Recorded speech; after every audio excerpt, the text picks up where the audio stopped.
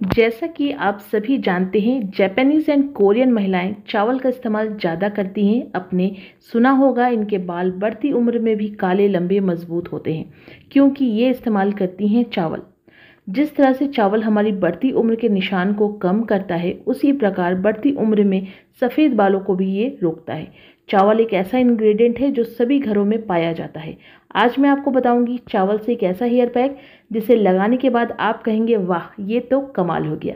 तो कैसे इसे प्रिपेयर करना है, कैसे इसे बनाना है क्या क्या इनमें क्वालिटीज़ हैं, क्या पाउडर इसमें मिक्स करने हैं, उसके लिए स्टार्ट करते हैं। तो सबसे पहले आपको यहाँ पे चावल को वॉश करना है। बिकॉज़ चावल में धूल, मिट्टी गंदगी होती है, जब भी हम उसे शॉप से लेके आते हैं, जब हम उसे इस्तेमाल करें तो उसे अच्छे से वॉश करना चाहिए, साफ़ करना चाहिए, क्योंकि चावल के ऊपर एक पॉलिश की हुई रहती है, जिसे उतारना बहुत ज़रूरी है।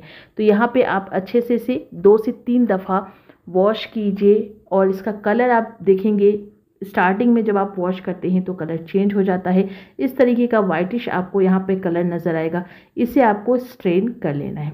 फिर अनदर से पानी ऐड करके इसे दो से तीन बार अच्छे से क्लीन करना है।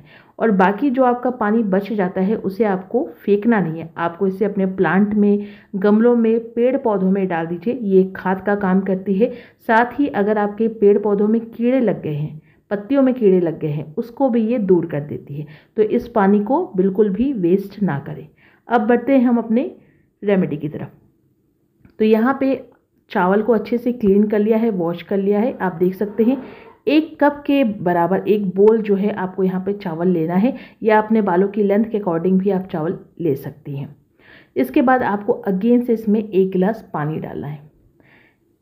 तो एक गिलास पानी आपको यहाँ पे अगेन से डालना है और इसके बाद चावल को ढक कर के कम से कम तीन घंटे के लिए आपको छोड़ देना है ताकि जो चावल है वो अच्छे से भीग जाए, अच्छे से फूल जाए सोक्ड हो जाए पानी के साथ, अपने एक्सट्रैक्ट अपने एसेंस अपनी गुडनेस इस पानी में डाल दें।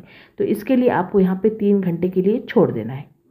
तीन घंटे के बाद आप देख सकते हैं चावल काफ़ी ज़्यादा सॉफ्ट हो गया है और जब चावल आपका फिंगर से ही इस तरीके से टूटने लग जाए, तब आप समझ जाइए कि आपका जो चावल है वो बहुत ही अच्छे से सोफ्ट हुआ है, बहुत अच्छे से फूल गया है। अब आपको इसे स्ट्रेन करना है। तो अगेन से हम इसे स्ट्रेन करेंगे और इसका जो पानी है, वही आपको यहाँ पे इस्तेमाल करना है। तो यहाँ पे पानी निकाल लेंगे और मैं यहाँ पे आपको दो तरीके बताऊँगी। इसलिए पानी को मैं यहाँ पे दो अलग अलग बोल में डिवाइड कर रही हूँ। बाकी जो चावल बचता है आप उसे कुकिंग के लिए इस्तेमाल कर सकती हैं, उसे ड्राई करके फिर से यूज़ कर सकती हैं।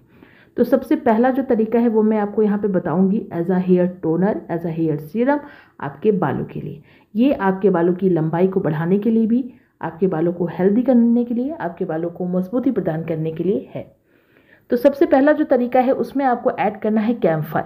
कैम्फर इसलिए क्योंकि ये तासीर का ठंडा होता है और ये हमारे स्कैल्प को डिटॉक्सीफाई करता है। गर्मियों में स्कैल्प में जो भी प्रॉब्लम होती है, वो नहीं होती अगर आप कपूर का इस्तेमाल करती हैं अपने बालों में। तो बहुत ज़्यादा नहीं छोटा सा टुकड़ा आपको लेना है और हाथों से ही अच्छे से इसे प्रेस कर देंगे तो बहुत ही ईजिली ये पाउडर बन जाता है। आप चाहें तो पूजा मंदिर में इस्तेमाल होने वाला जो कपूर होता है, वो भी इस्तेमाल कर सकती हैं। बस इतना आपको यहाँ पे लेना है और प्रेस करके इस पानी में ऐड कर देना है।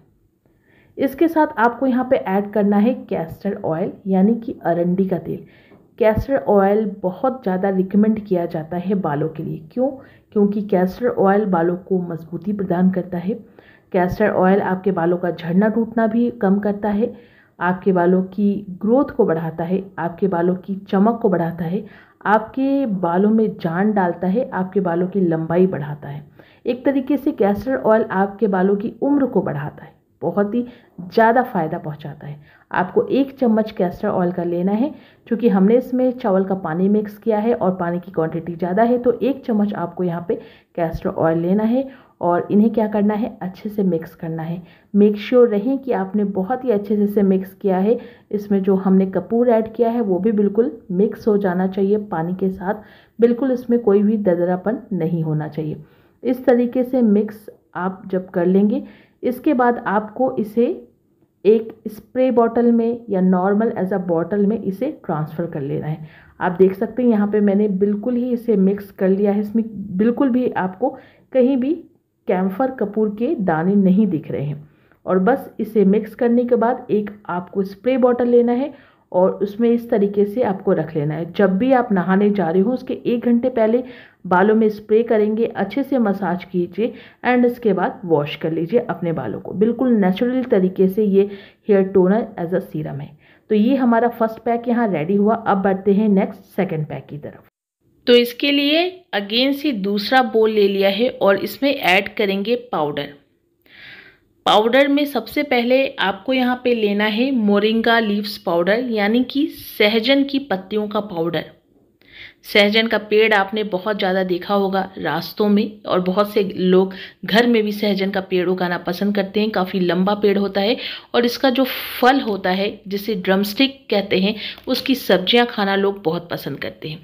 मोरिंगा लीव्स आपके प्रीमेच्योर हेयर के लिए ब्राउन हुए हेयर के लिए, सफ़ेद बालों के लिए बहुत अच्छा होता है। इसके अलावा इसका इस्तेमाल स्किन के लिए भी किया जाता है। यानी ये दोनों तरीके से यूज़ आती है, आपके बालों के लिए भी और आपकी स्किन के लिए भी। तो आपको इसकी क्वांटिटी दो चम्मच के करीब इसमें ऐड करनी है।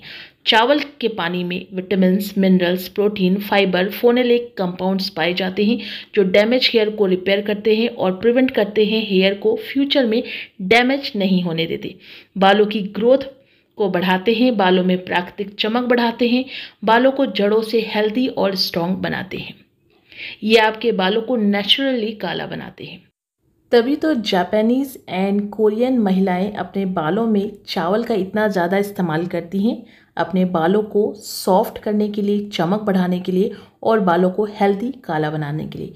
इसे अच्छे से आपको मिक्स कर लेना है। मिक्स करने के बाद आपको इसमें ऐड करना है मेरा फेवरेट हमेशा की तरह आंवला पाउडर जो कि आपके बालों की हर एक समस्या को पूरी तरीके से ख़त्म करती है। चाहे आपके बालों को सफ़ेद से काला बनाना हो, बालों का झड़ना रोकना हो, या फिर बालों की लंबाई को बढ़ाना हो। इसे भी आपको मोरिंगा लिप्स पाउडर प्लस चावल के पानी के साथ अच्छे से मिक्स कर लेना है। मेक श्योर sure रहें कि आपका जो पेस्ट है वो बिल्कुल फाइन पेस्ट रहे। इसके बाद आपको इसमें ऐड करना है bhringraj powder bhringraj powder, bhringa powder, bhringraj या इसका ऑयल आप इस्तेमाल अगर नहीं करती हैं तो आज से इस्तेमाल करना शुरू कर दें।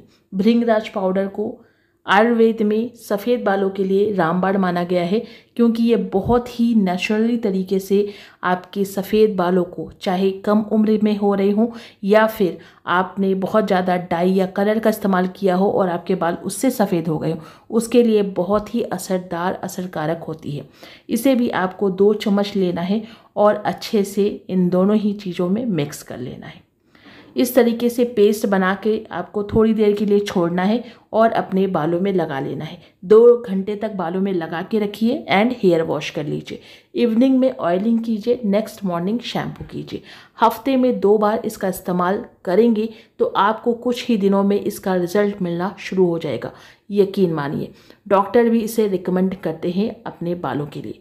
उम्मीद करती हूँ वीडियो पसंद आई हो। तो लाइक कीजिए शेयर कीजिए।